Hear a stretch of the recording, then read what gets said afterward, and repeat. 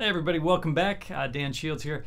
Uh, hey, today I'm going to go through some ideas that are, I think, really good ideas uh, if you're an improvising musician and you're trying to learn uh, some things, especially your arpeggio shapes, and how to get like around the arpeggio shapes. Now, just to know, this is uh, these are ideas that are based out of my book series, uh, the Guitar Daily Workout.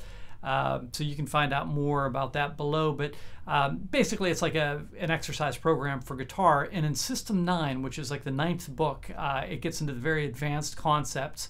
Uh, so 1 through 4 are pretty, you know, core concepts, and 5 through 8 are like uh, intermediate concepts. And then 9 through 12 are really advanced concepts. So, you know, this might not be for you if you're, uh, if you're somebody who's just, uh, you know, um, knows what you're doing but doesn't want to get into the really advanced stuff.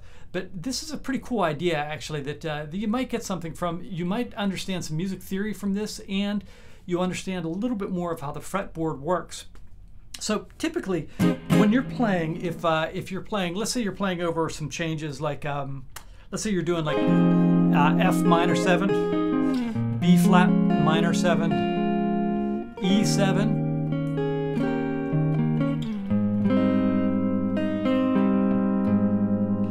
Uh, let, us just do that much. So, so that would be considered three, six, or sorry, six, two, five, and one. If we're doing, if you know that uh, Nashville number system.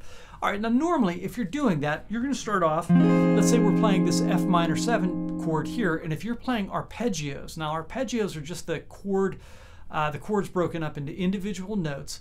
Um, so they're always, if you're doing seventh arpeggios, it's always the root, the third, the fifth, and the seventh. And then whether it's a major, minor, perfect, or uh, flatted or augmented, makes it what, you know, whether it's a minor seventh chord or a major seventh chord or a half diminished chord or whatever. So it gives it the chord qualities. So normally, if you're playing these things, uh, you know, if I was playing over these uh, changes, I might be playing like these sort of arpeggios.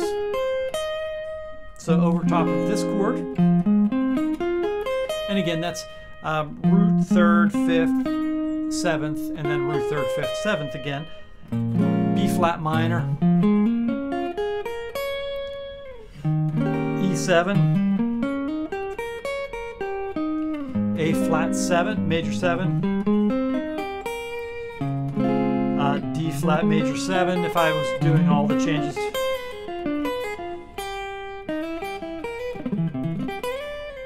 Okay. So those are sort of the changes that how you might approach some of those changes. And then what you do is you use these notes. Um,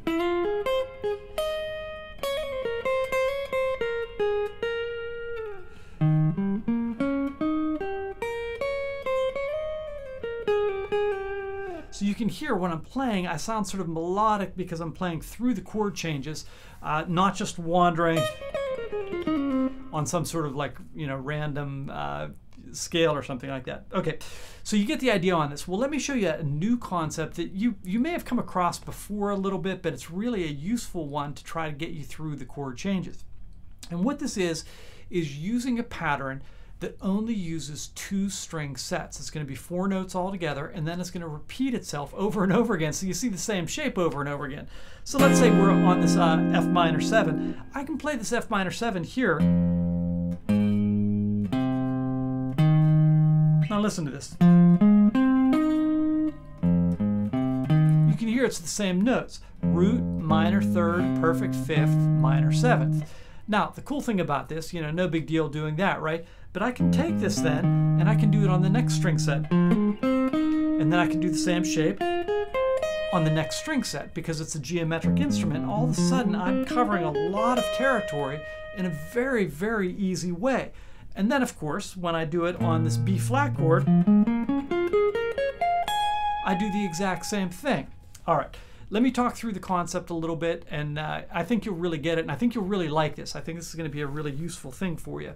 Um, now, you know, as with all these things, there's a lot of memorization on guitar. There's no getting around it. If you're a guitar player, there's a lot of information you have to memorize to be able to make stuff just to just to be able to get around on the neck and then to be melodic it takes more than that and then to be you know um, Mike Stern or something like that it takes a whole nother level of, of practice so it's a difficult thing but these are concepts that can help you right where you're at right now so whatever you're you're able to do you'll just be able to do it a little bit better hopefully uh, by using some of these concepts all right so let me let me talk through what this thing is so we're going to start off on, on this F note, and I'm going to walk through all of the versions of the seventh chords. Now, just a little bit of music theory. Don't tune out on this because this is important stuff. Um, whenever you're dealing with seventh chords, they're always the same notes. It's always root, third, fifth, and seventh. And then the quality of those things is what determines what chord it is.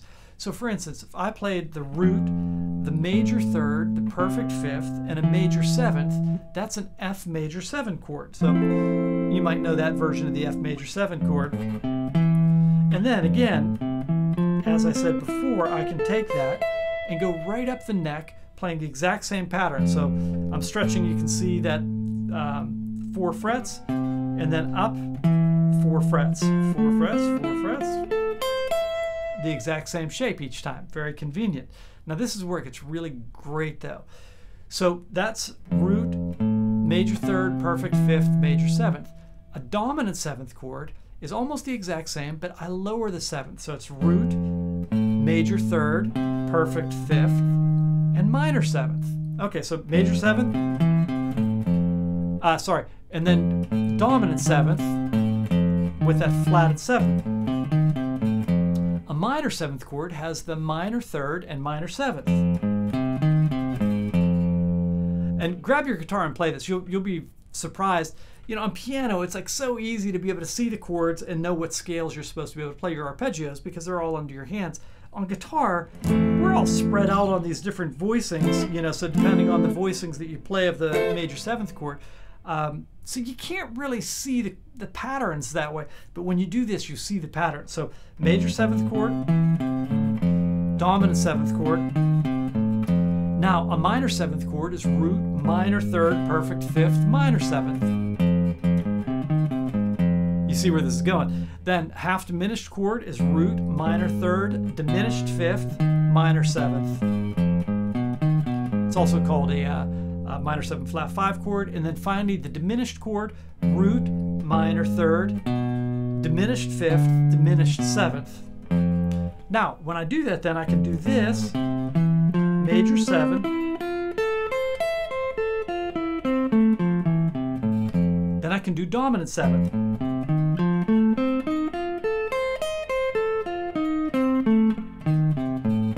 Then I can do minor 7, and then finally, same thing on the half diminished seventh and the diminished, which a lot of you guys know the diminished shape. Now, when I'm playing through changes then, um, I can, I'm going to jump around a little bit here, and you don't normally want to do this in your playing, but if I played those same changes, F minor 7,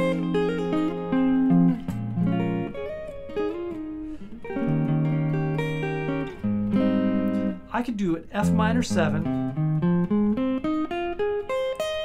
then B flat minor 7, um, E flat dominant 7th, and then finally A flat major 7.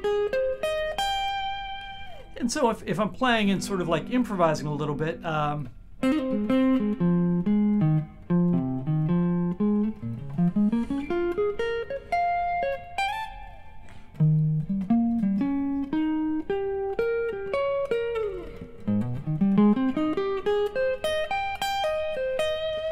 then when you're doing like little um, little phrases or whatever, you know, if I did,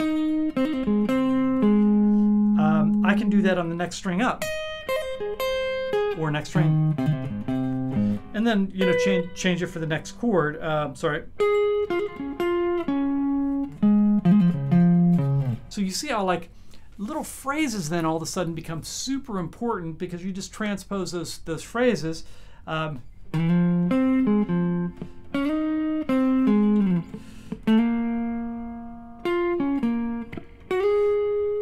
question and answer type of stuff. So it's really useful for your playing. So um, now, just to put a caveat on this, when you start into it, you know, I just started on the root, but you can third start on the third. Sorry about that. Uh, but I guess let me try that again. I can start on the third of it, uh, and it's the exact same thing again for all of the different um, variations of it.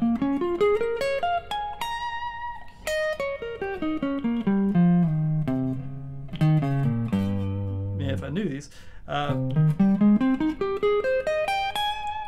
so uh, root, third, fifth, and seventh. And then you can start to mix and match these a little bit. You know, so let's say I started off here.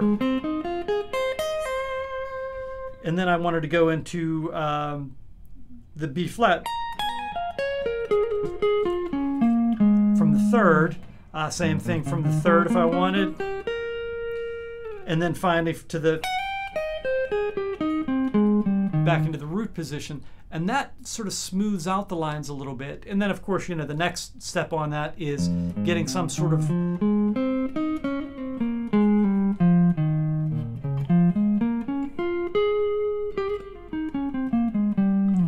where you get some sort of scale ideas in there as well and then that's the beginning of really getting some melodies going over top of these chord changes. So hopefully that's a concept that'll help you out a little bit. Uh, again, that's uh, that's associated with System 9 uh, my arpeggio workout on that, and uh, be sure to check that out if this is something that you're interested in. It'll really help to get these shapes and ideas under your fingers. So until next time, see you.